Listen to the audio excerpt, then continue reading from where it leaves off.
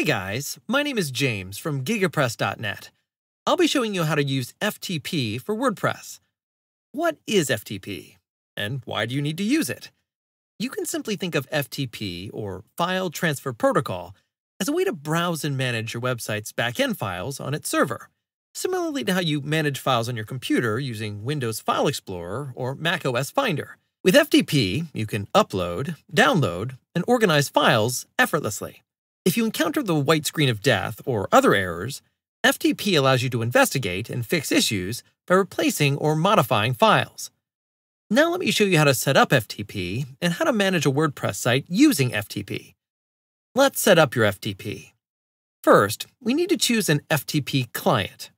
We recommend using FileZilla, which is a free FTP client available for Windows, macOS, and Linux. To download and install it on your computer, Go to the FileZilla website by clicking on the link in the description below. Once you're on the website, click on the Download FileZilla client button. Once you're done installing the FTP client, let's continue by connecting to your website. You should be able to view your FTP credentials in the FTP Account section of your web hosting control panel.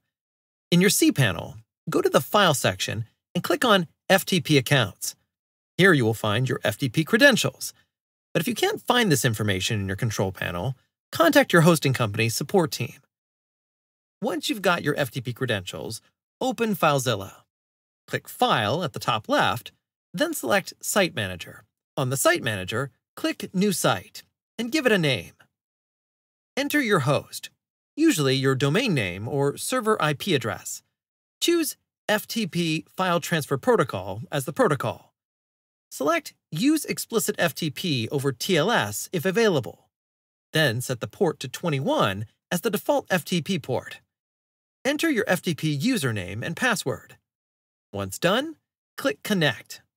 If this is your first time connecting, you may encounter a certificate window that looks like this. Check the box to Always Trust Certificate in future sessions, then click OK. Before we go to the next step, if you find this video helpful, please leave a like and subscribe to our channel to find more WordPress tutorials and reviews. Once connected, you'll see two panels in FileZilla. On the left column, you will see the local files on your computer, and on the right column, the remote files on your server. To manage your WordPress files, navigate to the main directory of your website.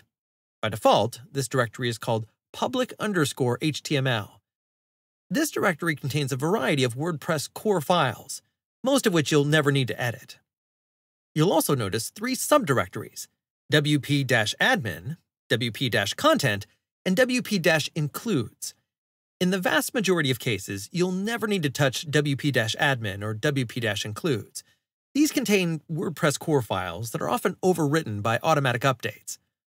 However, you will want to be familiar with the wp-content directory, which is home to your themes, plugins, and media uploads. The plugins directory contains a subdirectory for each of your plugins. The themes directory contains a subdirectory for each of your themes. The uploads directory contains all of the files you've uploaded to your media library. By default, this directory is organized into subdirectories by upload date. Now here I'm going to show you how to edit files using FTP. Before editing files via FTP, I would strongly suggest installing a better text editor and setting it as the default application on your system. I personally use Notepad++ for Windows and Atom for macOS, both of which are free. If you need to edit a file on your web server, for example, your theme, select the Themes folder, then right-click Functions.php, then an option shows up.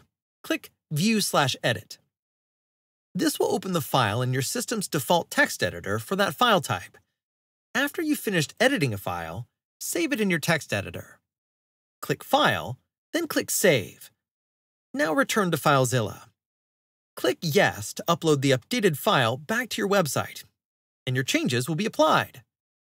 Now, to give you a better understanding of how to use FTP, I'll guide you through how to install a WordPress theme using FTP. First, make sure you have the theme files ready on your computer.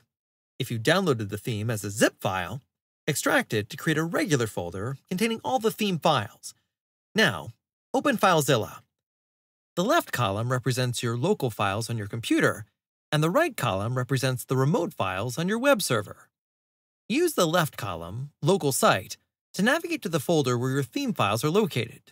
In the right Remote Site column, open your website's root directory, usually public underscore HTML, and then navigate to wp-content slash themes. Now, simply drag your theme folder from the left column into an empty space in the right column.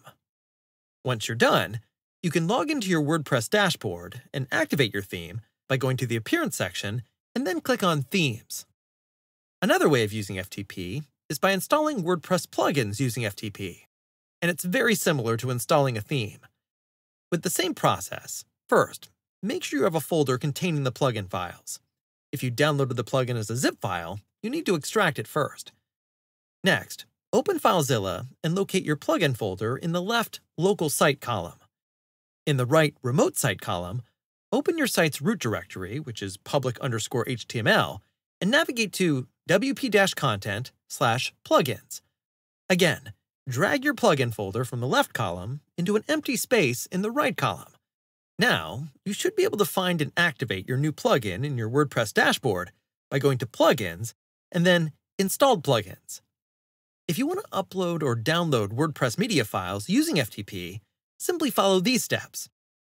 In your remote site column, navigate to wp-content slash uploads. To upload files from your computer to your site, drag and drop the file from the local site column to the remote site column. To download files from your site to your computer, drag and drop them from the right column to the left column. So that's it. That's how you can use File Transfer Protocol, or FTP. You now have a better understanding of FTP to manage your WordPress website. For more WordPress tutorials, our free WordPress masterclass, and fast and reliable web hosting, visit gigapress.net. Thank you, and see you next time.